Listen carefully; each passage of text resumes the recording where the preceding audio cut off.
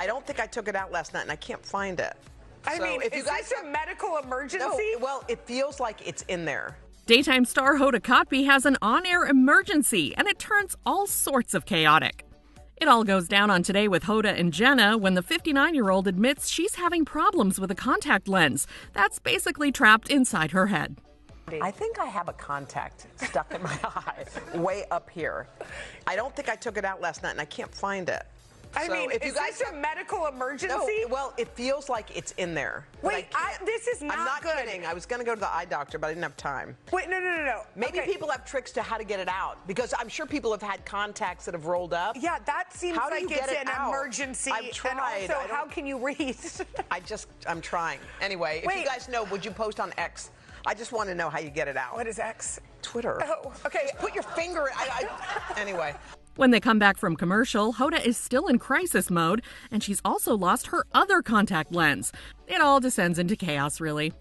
We have breaking news. Um, Hoda has now lost all eyesight um, because your other contact fell out, and No, then my other. one. There, there's, there are two in there. Somewhere. But they're both I'm lost in the eye cavity. okay, just you read. I'm going to go ahead and read, and hopefully, Yeah, when the health have me. person comes, we can resolve this issue. Then Hoda gets a hot tip that pulling her eyelid away from her eyeball will give the remaining lens room to move. And what do you know? oh wait. Oh my God, it came out! Wait.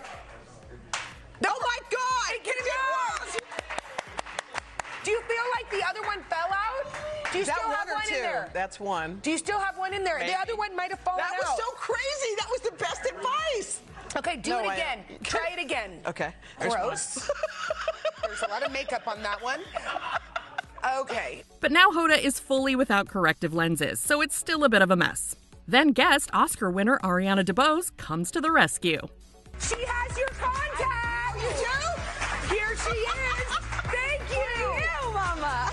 Maybe take your glasses. Can she oh. borrow your glasses too? Honestly, these I can see. I can see. It's good. Bottom line is, Hoda, you gotta take out those lenses before you sleep, girl. Jenna needs you and your vision on point. There's no I in team. Okay, in this case, there were two. Oh my God! It came out.